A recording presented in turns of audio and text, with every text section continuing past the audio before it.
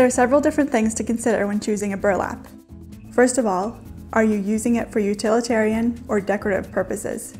If you're using it for agriculture, landscaping, or other utilitarian uses, the natural burlap will work just fine. It may be stamped in places, have seams, or other inconsistencies. You can also get burlap that has a biodegradable no-rot treatment to extend its life. There's also laminated burlap and flame retardant burlap. If you're using burlap for more decorative purposes, you'll probably want a more refined burlap. Our Shalimar and Sultana color burlaps are dyed, finished, and sanitized to remove natural oils and odor. They have a more consistent look and feel, and they also come in a wide range of colors. You can use this burlap for table runners, lampshades, window treatments, crafts, and much more. Printed burlap is also great for decorative uses. Both the natural and color burlaps come in different weights ranging from 5 to 11 ounces. The higher the weight, the tighter the weave. The natural burlap comes in 5, 7, or 10 ounce weights.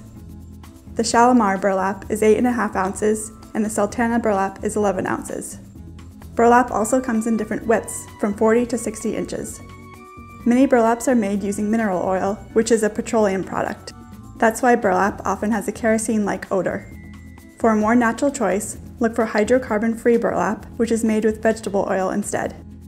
Take these things into consideration to get the burlap that is best for what you want to use it for.